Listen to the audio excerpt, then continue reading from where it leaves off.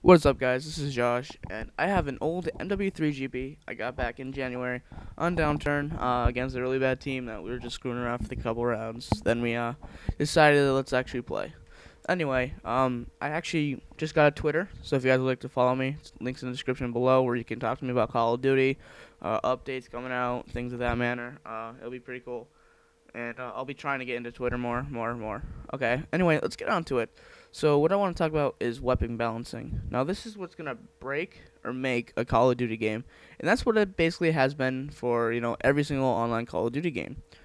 Um, personally, you can never really um, think or what should I say uh, have a perfect weapon balancing because no matter what, one gun's gonna shine over another one, unless you pick every other gun, every gun the same, which will make the game really boring.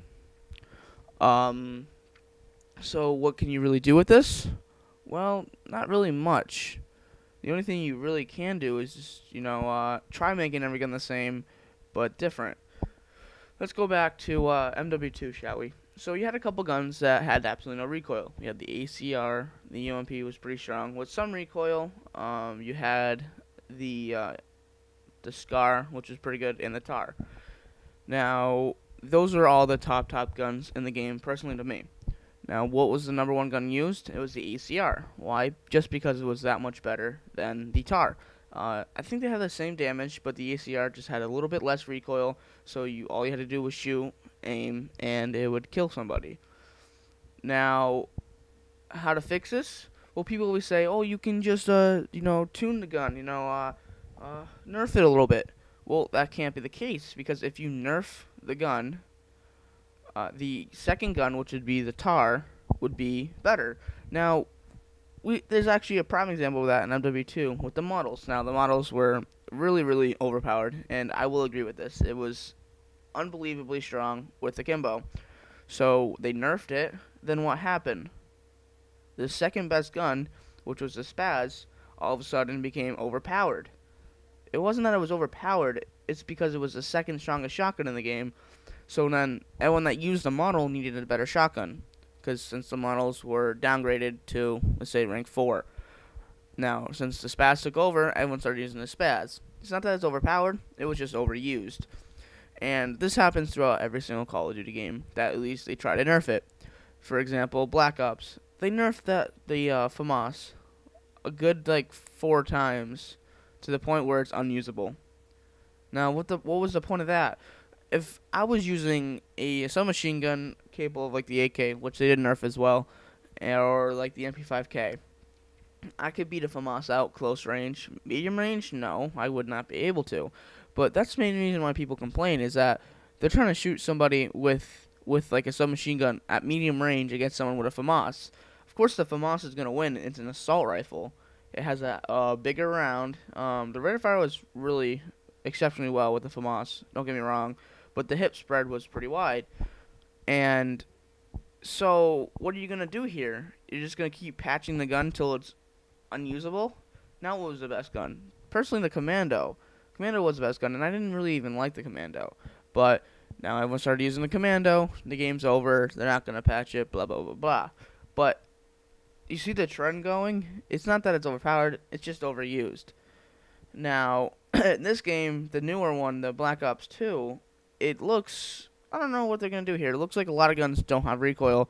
Like they're going with it where um they, they have high rate of fire and low uh bullet damage, it's gonna have no recoil.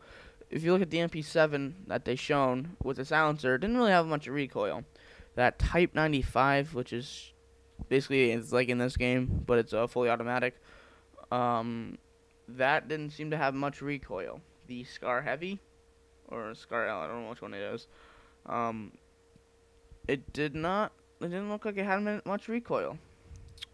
Uh, that uh, P90 variant, which is the PDW personal defense weapon, that didn't really have much recoil. So uh, I'm guessing they're going with guns that don't have recoil and uh, just uh, bullet um, differentials and rate of fire is really going to make this game different. So we'll see where this goes. Um, I'm hoping, I'm hoping they do a good job on this so people stop complaining. Because I'm sick of people hearing complaining. Ever since um, they did something really in Black Ops. I think the community starts complaining more and more and more because they know they're gonna do something about it, which is totally totally sad because I personally think they shouldn't do anything to any gun. Yeah, it's it's just a little bit more used. Just, I mean, deal with it. But, alright, what's that? Um, I don't understand is like people that do complain, oh, FAMAS is overpowered, blah blah blah blah blah. Why don't you use the FAMAS and try it out? If everyone else is using it, just use it yourself. It would solve a lot of problems. I'm just saying, it really would. Um, but you know there are things that clearly are overpowered, and that'll take us back to MW2 days where the uh, noob tube danger close one man army. Now, you can say the same thing about that, like you can use it too. Well, no, because first of all, that's an explosive, and people just use that cheaply. At least when you're using, if someone else is using the FAMAS against you, you have you have you're the you have the capability of beating them. But if someone's at a good distance, ten feet away, that has a noob tube with danger close or grenade launcher, if you want to get technical, they're gonna beat you no matter what. You can't do anything. You might be able to get those two shots off, but once they pull that trigger and it explodes next to you, you're dead. You're completely dead. I don't know. You can't do anything about that. And then the people that are faggy that launch them off in the beginning of the S&D round, which I don't know why they didn't fix it and just do what Treyarch did and says grenade launchers aren't able to be used within 10 seconds because the maps were so big. You weren't gonna be able to kill someone in 10 seconds with a freaking. You won't be able to get to the side in 10 seconds, even with lightweight and marathon. It takes about 15 to 20. So it depends. It also depends on what map. But uh, let's see what they do there. Personally, I think they should just take out launchers in general. That would solve so so many problems. And they continue to leave it in because it's saying, oh, it's more realistic with my uh, fingers twirling. But if you think about it, Call of Duty is not supposed to be realistic. It's supposed to be fun. Uh, since when has this game ever, ever been about realism?